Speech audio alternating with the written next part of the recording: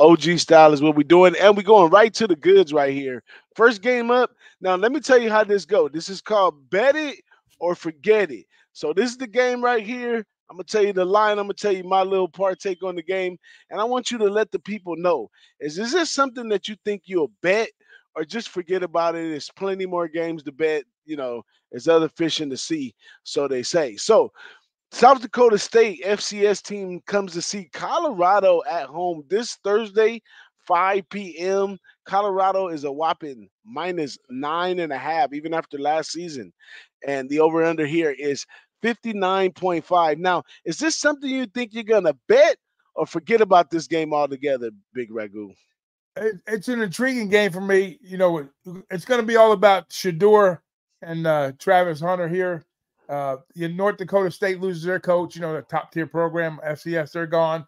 40x, 40 transfers coming to Deion, which we're going to see the revolving door of that. This particular game, forget it. Forget about it. Yeah. So my man Big Ragoo says this one is is not is not too good for him right here. I was kind of thinking it's gonna be a lot of lights, cameras, and action, uh, star-studded crowd, all that kind of stuff.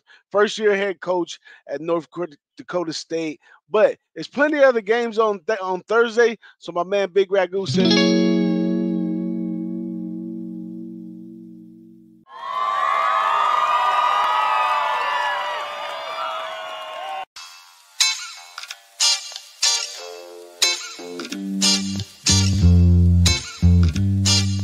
Boss in the Sauce Show. Boss in the Sauce Show. Boss in the Sauce Show. Boss in the Sauce Show. Here we go.